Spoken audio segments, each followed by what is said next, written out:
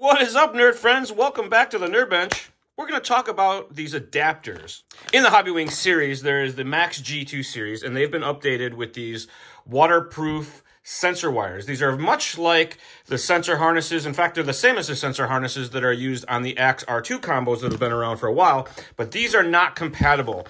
While they do fit, you're not going to use any of this to make an Axe motor or speed control work with a regular motor or speed control. There's a different type of sensor system. These are Hall effect sensors. The other ones are a closed loop FOC style sensor. Long story short, they're not compatible with each other. So these sensor adapters are only for like the G2 series to work with XERun series or QuicRun series sensored setups. These adapters are to make the regular rectangle style sensor wire work with the waterproof round style sensor wire. There's two versions available. There's actually three. There's a third one that I don't have here. So there are three total part numbers available. There's the whatever ends in a 4, whatever ends in a 7, and whatever ends in a 7B01.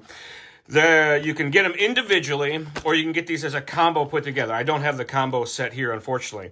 The side that says it's the JST motor side, this is the side that goes to the normal motor, a standard size motor, to go onto the G2 style speed control. So that's the opposite end.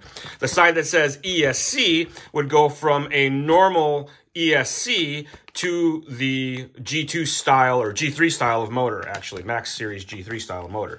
So that's what these adapters are for, and they can also be used to create a custom sensor wire that's disconnectable in the center as well, because each of these ends are the same, so this would turn it into a normal double-ended sensor wire also. We're going to take these out and plug them in and show you what we're talking about here, just to make sure. I know it seems pretty straightforward, but we want to make sure we cover this, because it can be very confusing. So this is the one that is, it says it's for the ESC. It ends in a 7 on the part number.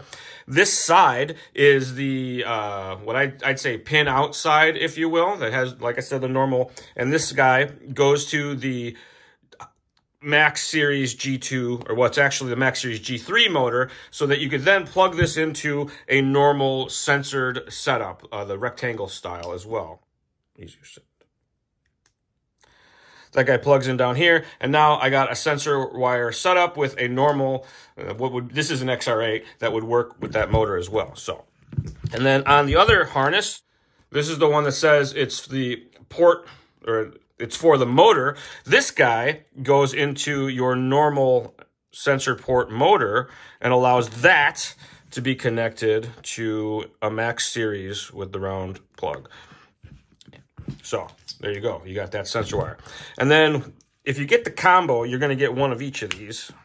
The combo set comes with one of each of these, and you can connect these two guys together and have yourself a regular double-ended sensor harness and use this in a standard sensor wire setup to allow you to, maybe you want to waterproof the motor and then waterproof the speed control side and still be able to disconnect them with the bullet plugs and stuff like that. This allows you to do that. Um, folks call me up and they ask me which one should I get. I always tell them to get the combo so that they have a spare because in, in the series of RC, you're going to end up, you know, that that's extra set of wires might save your day. Now these are keyed.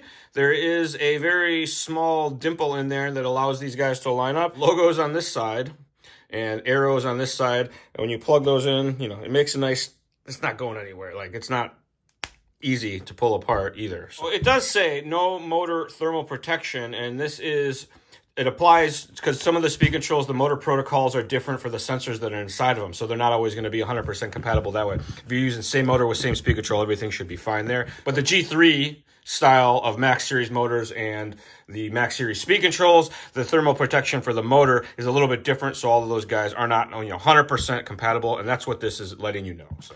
There'll be a link in the description down below so you can pick up one of these adapters or the combo kit if you need. If you do have any questions, comments, or concerns, please do shoot us an email, northamerica at hobbywing.com. If you didn't know, we have a podcast. It's called RC Stuff, powered by Hobbywing. We give away a free Hobbywing combo each and every episode. All you have to do to find out how to enter to win is listen to an episode. Just look up RC Stuff on your favorite podcast service. And as always, folks, thanks for watching another episode of The Charlie Show, new every Tuesday, right here on the Hobbywing official YouTube channel. We will see you all next time.